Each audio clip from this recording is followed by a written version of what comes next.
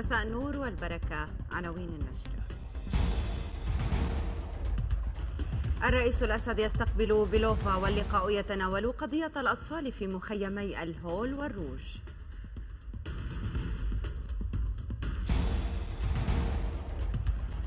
الجيش اليمني واللجان يسيطرون على مواقع استراتيجية قرب نجران.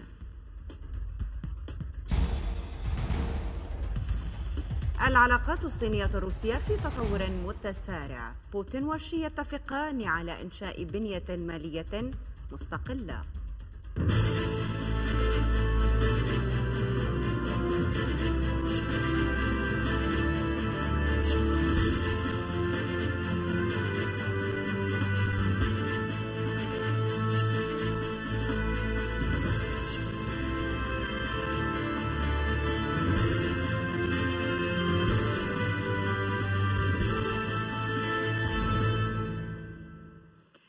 استقبل الرئيس بشار الأسد مفوضة رئيس روسيا الاتحادية لحقوق الأطفال ماريا لوفوفا بيلوفا والوفد المرافق. وخلال اللقاء دار الحديث حول قضية الأطفال الموجودين في مخيمي الهول والروج حيث تمت مناقشة الخطوات والجهود المشتركة السورية الروسية لإخراج هؤلاء الأطفال من المخيمات على الرغم من العقبات الكثيرة التي تضعها بعض الدول الغربية في هذا المجال. وأكد الرئيس الأسد أنه على الرغم من أن هذا الملف هو إنساني بالدرجة الأولى إلا أن الغرب يستثمر هذه القضية سياسيا بهدف الإبقاء على هذه المخيمات كحاضنة للإرهاب والفكر المتطرف معتبرا أنه على التوازي مع إجلاء الأطفال ينبغي العمل من أجل إغلاق هذه المعسكرات اللا إنسانية نهائياً.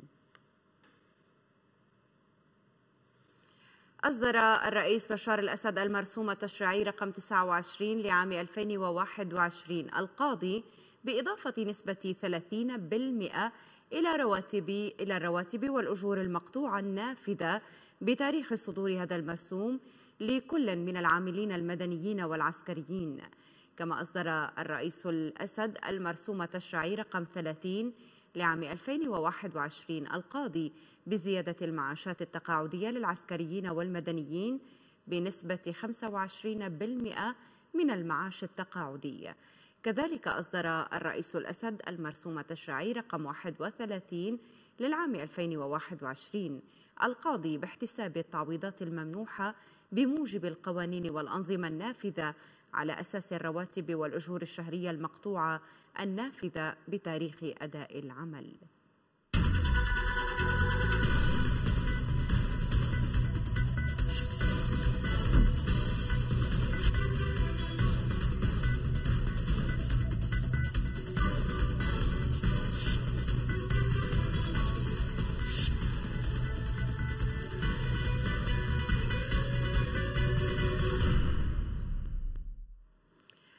نشرت خلية الإعلام الأمني في العراق مشاهد قالت إنها توثق خروج القوات القتالية للتحالف الأمريكي من الأراضي العراقية. وأشارت خلية الإعلام إلى أن الانسحاب جاء وفقا للاتفاق الذي حصل من خلال جولات الحوار الاستراتيجي العراقي الأمريكي لانتهاء وخروج القوات القتالية بصورة نهائية هذا العام. والبدء بمرحلة جديدة تشمل تقديم الاستشارة المساعدة والتمكين. سيطر الجيش اليمني واللجان على عدد من المواقع في سلسلة جبال قشعان الاستراتيجية ووادي سلبة في مديرية خب والشعف الحدودية مع نجران في محافظة الجوف. وتكمن الأهمية الاستراتيجية لجبل قشعان في إشرافه على منطقة اليتمة المركز الإداري لمديرية خب والشعف وصحراء الأجاشر الممتدة بين الجوف ونجران السعودية. من جانب آخر تتواصل المعارك العنيفة في الأطراف الفاصلة بين منطقة كرا وجبل البلق الشرقي في مديرية وادي عبيدة جنوب شرق مأرب انطلقت في شمال وجنوب قطاع غزة المحاصر مناورات تدريبية لبعض فصائل المقاومة الفلسطينية وذلك بهدف رفع الجهوزية القتالية. وبحسب المقاومة تعد المناورة التي تحمل اسم درع القدس انذارا للاحتلال بأن المساس بالقدس سيؤدي إلى تفجير المشهد بشكل غير مسبوق. كما أنها رسالة للاحتلال بأن المقاومة جاهزة إذا ما فكر في ارتكاب أي حماقة جديدة في القطاع. زعم جيش الاحتلال الإسرائيلي أنه أنهى أكبر مناورة مفاجئة من نوعها في السنوات الأخيرة خصصت لما وصفه بالاستعداد للحرب القادمة. وأضاف جيش الكيان أن التدريبات تحاكي سيناريوهات قتالية كجزء من الجدول التدريبي المخطط له هذا العام. يأتي هذا فيما انتقد تقرير صادر عن مركز دراسات الأمن القومي الإسرائيلي حالة الجبهة الداخلية للكيان على خلفية المناورات التي أجرتها الجبهة منذ أيام قليلة والتي أظهرت العديد من نقاط الضعف وعدم قدرتها على الصمود في حال وقوع أي حرب قادمة.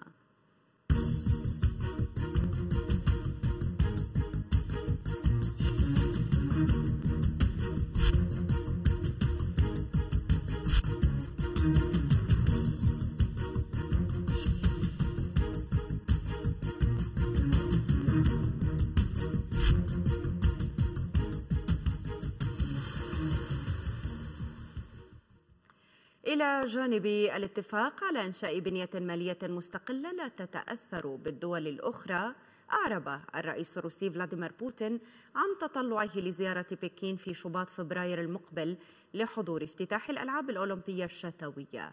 وخلال اجتماعه عبر الفيديو مع الرئيس الصيني شي جين بينغ اعتبر بوتين بأن العلاقات بين بلاده والصين تشكل مثالا يحتذى به للتعاون في القرن الحادي والعشرين. من جانبه لفت الرئيس الصيني إلى أن العلاقات مع روسيا صمدت أمام تحديات مختلفة. أعلنت الدفاع الروسية أن قاذفتين استراتيجيتين من طراز تو 95 إم إس نفذتا دورية دامت نحو تسع ساعات فوق المياه الدولية في بحر أوخوتسك وبحر اليابان. وأضافت الوزارة أن مقاتلات من طراز سو 35 إس رافقت القاذفتين في مهمتهما.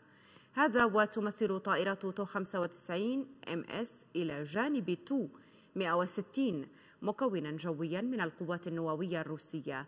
وتتخصص بتوجيه ضربات نووية وعادية إلى أهداف حيوية تقع في أعماق أراضي العدو. كذلك أعلنت الدفاع الروسية أن الفرقاطة التابعة لأسطول المحيط الهادئ. مارشال شابونشيكوف أطلقت صاروخا من أحدث المنظومات المضاد للغواصات. جواب. وذلك ضمن تدريب تم إجراؤه في مياه بحر اليابان.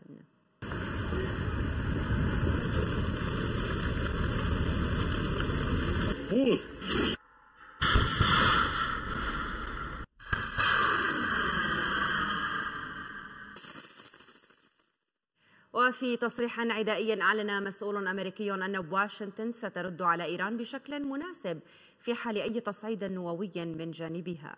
وفي وقت سابق أكد وزير الخارجية الإيراني حسين أمير عبد اللهيان بأن أطراف التفاوض الأخرى في فيينا قبلت أن تكون نصوص مقترحات طهران الجديدة على الطاولة أيضا. بالمقابل قال ممثل روسيا في محادثات فيينا ميخائيل أوليانوف إن جدية الفريق الإيراني الجديد في المحادثات كانت عالية. فيما اعتبر مواقف الدول الأوروبية في المفاوضات بأنها مثيرة للدهشة وكأنها تجلس على طاولة المفاوضات لأول مرة وتتخذ بعض المواقف غير العقلانية.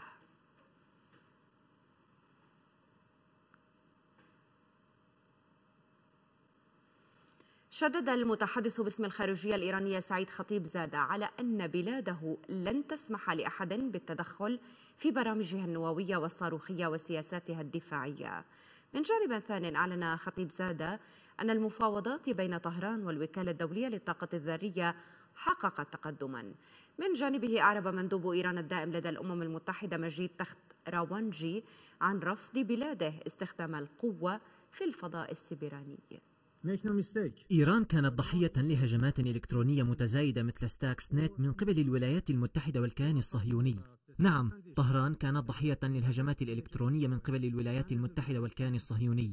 هذه المجموعة تشكل مكانا مناسبا للتحقيق بهذه الإجراءات غير القانونية. طهران ترفض استخدام القوة في الفضاء السبراني. إلى عناوين هذه النشرة. الرئيس الأسد يستقبل بلوفا واللقاء يتناول قضية الأطفال في مخيمي الهول والروش.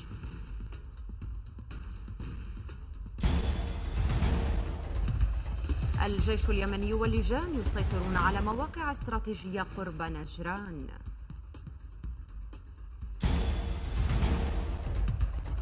العلاقات الصينية الروسية في تطور متسارع. بوتين وشي يتفقان على إنشاء بنية مالية مستقلة.